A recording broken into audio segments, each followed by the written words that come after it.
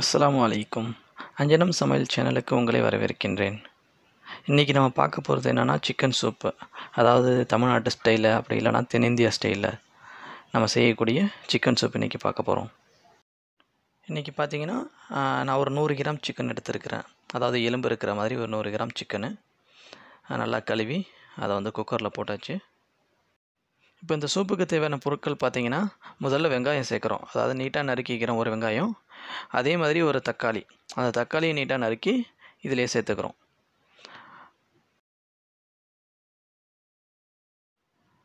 அப்புறம் ஒரு மிளகா ஒரு பச்சை மிளகா அதாவது நீட்டாக கீரிக்கிறோம் கீரி அதையும் சேர்த்துக்கிறோம். அடுத்ததாக கருவேப்பிலை. கருவேப்பிலை வந்து கொஞ்சமாக எடுத்து அதை நல்லா கழுவி சேர்த்துக்கிறோம். அதே போல் கொத்தமல்லி தழை. கொத்தமல்லி தலையை சின்ன சின்னதாக கட் பண்ணி அதையும் சேர்த்துக்கிறோம் கழுவிட்டு.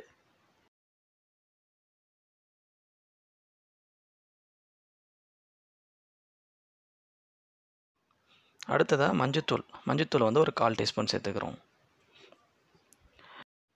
அடுத்ததாக மல்லித்தூள். மல்லித்தூள் வந்து அரை டேபிள் ஸ்பூன் சேர்த்துக்கிறோம். அடுத்ததாக பார்த்தீங்கன்னா மிளகு. மிளகு வந்து ஒரு டேபிள் ஸ்பூன் எடுத்து அதை நல்லா நசுக்கி க்ரஷ் பண்ணி எடுத்துக்கிட்டோம். அடுத்தது சின்ன ஜீரகம். அதை வந்து அரை டீஸ்பூன் எடுத்துக்கிறோம்.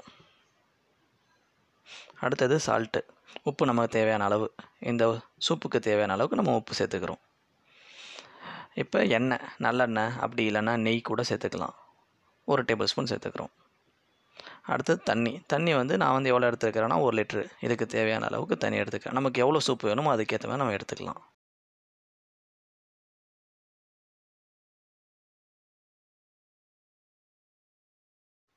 இப்போ குக்கரை மூடி நாலு விசில் வரைக்கும் நம்ம வேக வைக்கிறது. வேக வச்சோடனே பார்த்தீங்கன்னா கறி வந்து நல்லா வெந்திருக்கும். அதே மாதிரி சூப்பினுடைய சுவையும் பார்த்திங்கன்னா நல்லாயிருக்கும்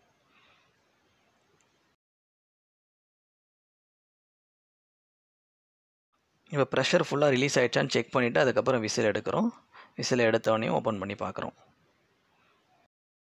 திறக்கும் போது கொஞ்சம் கேர்ஃபுல்லாக திறக்கணும். ஆவி மேலே அடிச்சிடாமல் பார்த்துக்கணும்.